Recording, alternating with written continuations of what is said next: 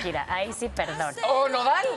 ¿Qué tienes de Nodal? Hombre, es que a pocos días del nacimiento de su primera hija, Nodal sigue trabajando a marchas forzadas.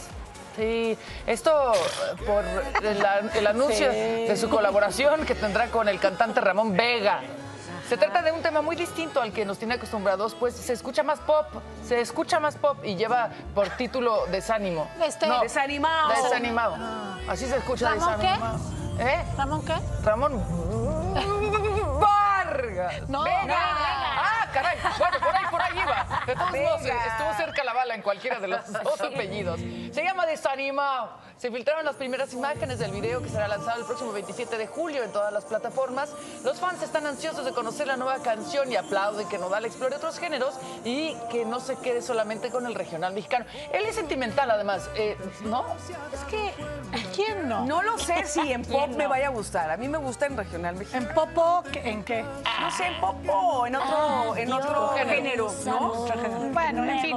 Oigan, este. mm, Sofía Niño de Rivera apenas eh, acaba de estrenar algo que me parece bien interesante, bien, bien interesante, eh, porque presenta su documental en donde ella fue a un par de cárceles en nuestro país y eh, convivió con los presos y entonces a partir de sus vidas y de sus historias cuentan eh, la razón por la cual están ahí o lo que en general lo que les está sucediendo por medio de una rutina de stand-up de comedia. Entonces los testimonios de estos reclusos son tan tan fuertes que después obviamente Sofía necesitó apoyo psicológico, debe ser muy duro eh, y eso pues para mantener como esta eh, coherencia de lo que estás haciendo entre la chamba y entre conocer estas historias que están pues muy intensas. Eh, sin embargo, algo que me parece bien, bien bonito de compartir es que la comedia puede llevarte a este lugar en donde puedes sanar, en donde si estás cumpliendo una condena, puedes llegar a vivir otra realidad ahí mismo. Y, y bueno, si ustedes quieren también ver parte de este documental, bueno, yo, yo vi también este, este cortito, este tráiler y me llamó muchísimo la atención.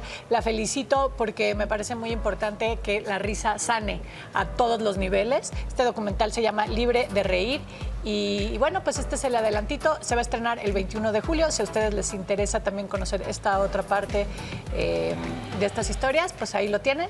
Y el chiste es saber que, de todas formas, el humor nos acompaña. Y sabes que también es muy importante que aunque no haya documental, todas las instituciones culturales que hacen obras de teatro, conciertos, lecturas, presentaciones de libro en, eh, en, en diferentes cárceles de esta ciudad, de este país, es bien importante. Independientemente del documental, se hace muchísimo y la comunidad está ávida de cosas distintas y no nada más que sean como las actividades que regularmente tienen. Así y, que, y también hay, hay muchas personas que están llevando meditación y yoga. También para esos momentitos en donde puedan ir para adentro y cambiar el universo en el que están este, siendo transitados. Entonces, bueno, me parece muy interesante.